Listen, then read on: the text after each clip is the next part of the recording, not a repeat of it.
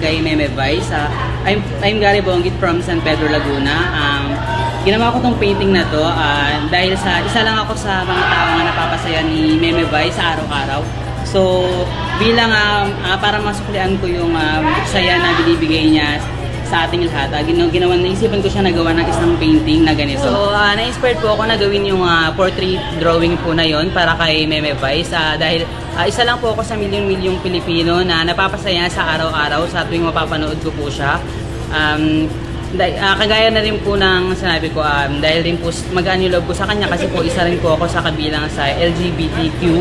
Uh, kaya po, um, kumbaga kasama ko po siya. Gusto ko po ipakita sa uh, sa lalo na po sa mga Pilipino, lalo na po sa mga papagmusulyang tao na ang mga kagaya po namin ay uh, may talento rin po na kaya pong ipagmalaki sa bansa natin. At ginagawa ko rin po yung mga pastel portrait ko po para na rin po na ipakita po natin sa ibang bansa na tayong mga Pilipino ay uh, dapat din po nilang i-idolize pagdating po sa larangan ng art. Um, Meme Vice, uh, sobrang saya po ng na sobrang sarap po sa pakiramdam na naibigay ko po sa inyo personally yung drawing ko po. Uh, sobrang nagpapasalamat po ako sa iyo. Uh, kitang-kita ko po sa mga mukha niyo na sobrang pagod na kayo pero uh, hinarap niyo pa rin po ako at in-entertain niyo pa rin po ako. Sobrang laki po ng utang na loob po, po sa inyong lahat po nang tumulong po sa akin para po maibigay po yung ano, uh, painting ko kay Miss